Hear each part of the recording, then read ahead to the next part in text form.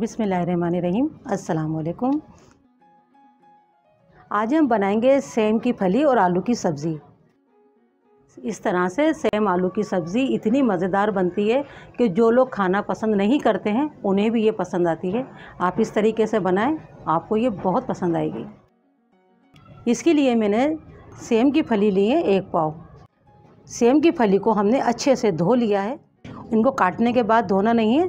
पहले धो लें, अच्छी तरीके से वॉश कर लें, ताकि जो भी डस्ट मट्टी लगी हुई है इनके ऊपर वो हट जाए। फिर इनको आपने इस तरह से छील लेना है। पहले इनके साइड से ये इनके जो एक धागा जैसा होता है ना, ये हटा देना है। दोनों तरफ़ से हटाना है इस तरीके से, और फिर इन्हें हम कट कर लेंगे। और ये मैंने तमाम फलियाँ कट कर ली थी। वो आपको दिखाने के लिए मैंने रखी थी। अब इसको पकाना शुरू करते हैं।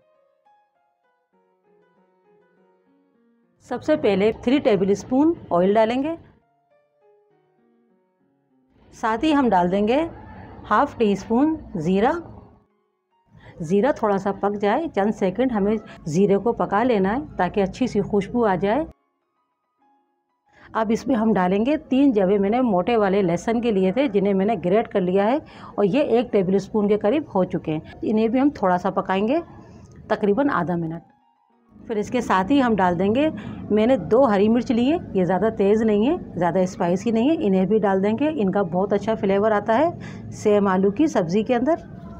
आप चाहें तो लहसुन को चॉप करके भी डाल सकते हैं, और अगर आपके पास पिसा हुआ लहसुन है, यानी पेस्ट है, आप वो भी ले सकते हैं, जो सहूलत हो आपको, वो कर सकते हैं। बस हमें इतना ही पकाना है, अब इसमें हम आलू शामिल करेंगे, आलू हमने लिया एक बड़े साइज़ का आलू को तकरीबन हम एक मिनट करीब पकाएँगे।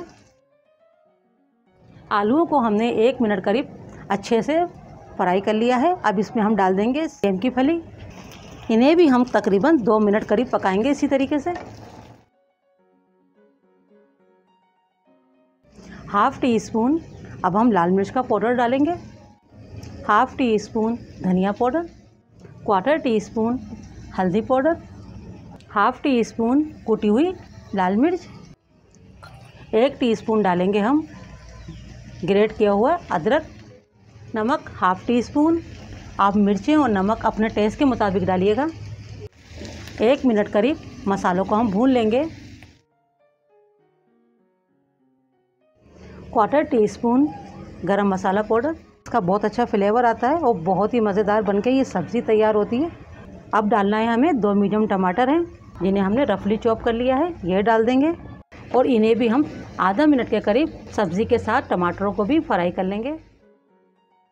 दो चम्मच के करीब हमने इसमें पानी शामिल किया है, ये सर्विंग स्पून है।